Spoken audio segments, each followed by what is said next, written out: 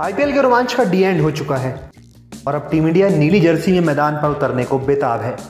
South Africa के खिलाफ 9 जून से शुरू हो रही पाँच मैचों की टी सीरीज़ के ज़रिए टीम इंडिया ऑस्ट्रेलिया में होने वाले टी वर्ल्ड कप की तैयारियों का भी आगाज़ करेगी। कप्तान रोहित कोहली की गैर मौजूदगी में साउथ अफ्रीका के खिलाफ के राहुल के हाथों में टीम की बागडोर सौंपी गई है। राहुल के पास बतौर कप्तान खुद को इंटरनेशनल लेवल पर साबित करने का यह सुनहरा मौका होगा। अरुण जेटली क्रिकेट स्टेडियम में भारतीय टीम के पास लगातार तेरहवें टी ट्वेंटी मैच को जीतकर वर्ल्ड रिकॉर्ड बनाने का भी चांस होगा। वहीं ईशान किशन ऋतुराज, गायकवाड़, वेंकटेश अय्यर अपने खेल से इस सीरीज़ में छाप छोड़ना चाहेंगे।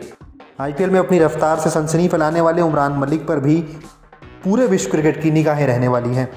तो हार्दिक पंड्या और दिनेश कार्तिक कम के बाद कैसा प्रदर्शन करेंगे, ये भी देखना दिलचस्प होगा।